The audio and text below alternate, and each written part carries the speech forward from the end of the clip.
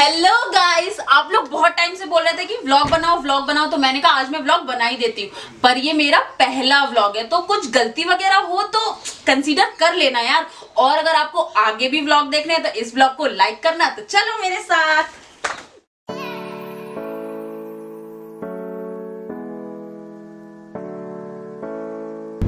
हम लोग घूमने जा रहे हैं पांडा फॉल। तो हम लोग जब भी घूमने जाते हैं ना चार लोग घूमने जाते हैं। ड्राइवर की सीट पक्की रहती है आफ्ताब की। उसके बगल में जो कैमरा पकड़े है वो होता है देवुलाओ। मैं आप लोग को दिखा देती हूँ। ये। और पीछे बैठते हैं हम लोग मतलब मैं और अभिषेक उर्फ़ भाव तो जो भी लोग मराठी होंगे वो समझ गए होंगे कि भाव का क्या मतलब होता है। और जो समझ गए कमेंट करके ज़रूर बताना। तो चलिए हम लोग चलते हैं। तो झांसी से पांडा फॉल का डिस्टेंस अप्रॉक्सीमेटली 189 किलोमीटर्स का है और वहाँ ट्रेन नहीं चलती तो मैं सजेस्ट करूँगी कि आप अपने ही व्हीकल से जाओ तो आपको ज़्यादा कन्वीनियंट पड़ेगा। झांसी से जैसे ही आप चलोगे तो आपको इतनी सारी शॉप्स मिलेंगी ना भजिए की और वहाँ के सारे भजियों का टेस्ट सेम और बहुत ही औसम होता है। तो भजिए ज़रूर ट्राई करना।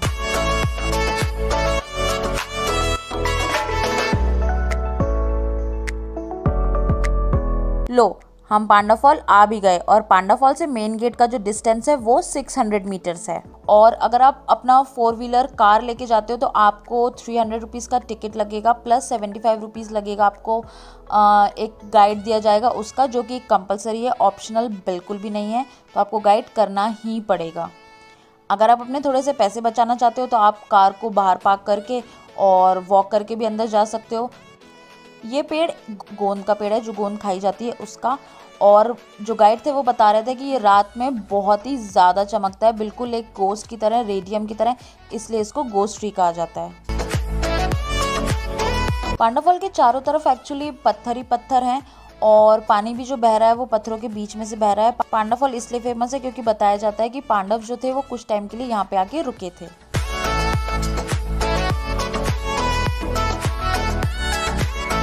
अब मैं यहाँ पे थोड़ी सी स्टाइल मारते हुए, क्योंकि मेरा पहला व्लॉग था तो मैं इस व्लॉग में नर्वस भी थी एट द सेम टाइम बहुत एक्साइटेड भी थी, आप खुद ही देख सकते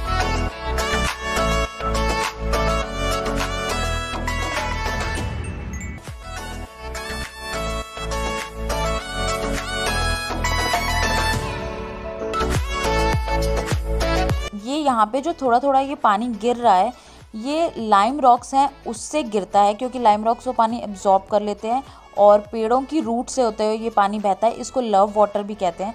कहते हैं कि इसको पीने से प्यार बढ़ता है। पहले मैं इसको नहीं पी रही थी क्योंकि मुझे लग रहा था कि मे भी शायद गंदा वगैरह ना हो बट इसको पीने के बाद ओ माई गॉड ये आरओ के पानी से भी ज़्यादा अच्छा टेस्ट कर रहा था।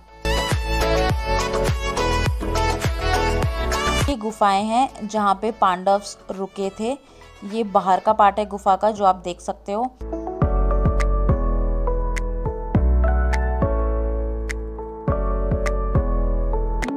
और ये पार्ट है अंदर, पर यहाँ पे जाना अलाउड नहीं था क्योंकि बारिश की वजह से इसमें पानी भर चुका था। तो और कुछ दिख भी नहीं रहा था अलाउड होता तो भी मैं नहीं जाती इतने अंधेरे में। तो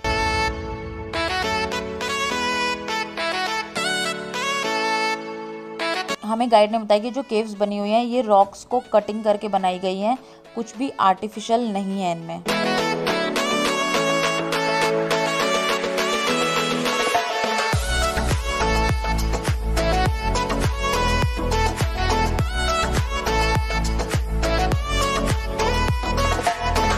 यहाँ पे जो स्टेयर्स हैं, हम उनसे ऊपर चढ़े और यहाँ पे क्या है कि मंदिर बने हुए हैं। पांडव्स के मंदिर हैं और शंकर भगवान के भी मंदिर हैं तो वहाँ पे हमने दर्शन किए।